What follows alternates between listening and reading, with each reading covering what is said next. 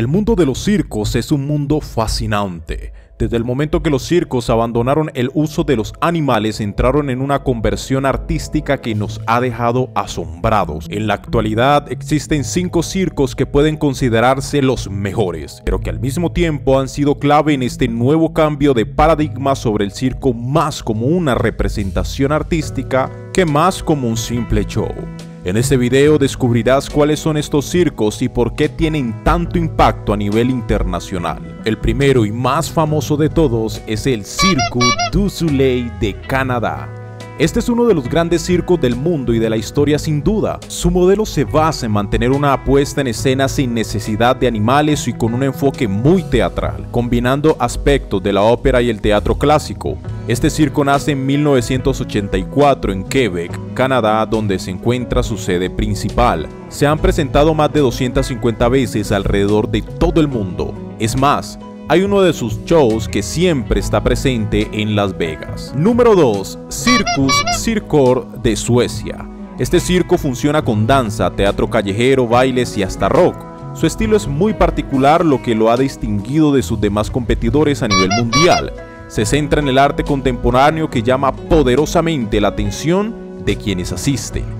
Su primera vez en escena fue en 1995 en Estocolmo y desde aquella época ha recorrido los cinco continentes. Su oficina principal está en el sur de Estocolmo. Número 3. El Circus Oz de Australia.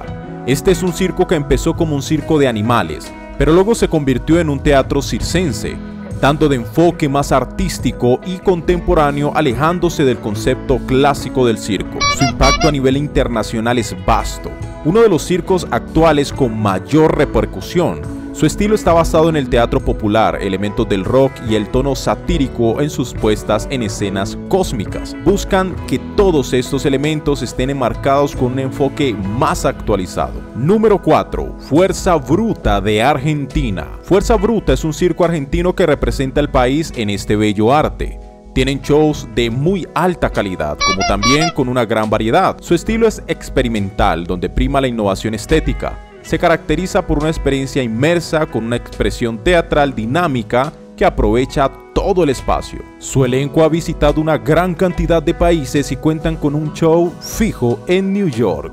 Y por último tenemos el Cirque Pluma de Francia, uno de los primeros circos en dar el paso a la nueva forma de hacer este arte igual que todos los demás, optaron por abandonar el maltrato animal y evocarse al teatro, pero en este caso enfocándose a la estética de los payasos, los acróbatas y trapecistas. Es llamado honorablemente como el Gran Circo de Francia y con toda razón, puesto que talento no les falta. Este circo también marcó un antes y un después en 1990 cuando lanzaron No Ánimo más Ánimo demostrando que era posible realizar un espectáculo de calidad, entretenido y creativo sin la necesidad del uso animal. Al principio les fue difícil, pero luego hicieron que el mundo circense diera un giro para mejor.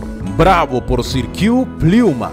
Así, con estos circos cerramos el ciclo de los mejores del mundo. Cada uno de ellos se ha hecho famoso con eventos y estilos distintos, pero cada uno de ellos es bueno en lo que hace y en la forma como lo hace. Déjanos en los comentarios cuál de estos circos te parece más interesante para asistir a una de sus funciones.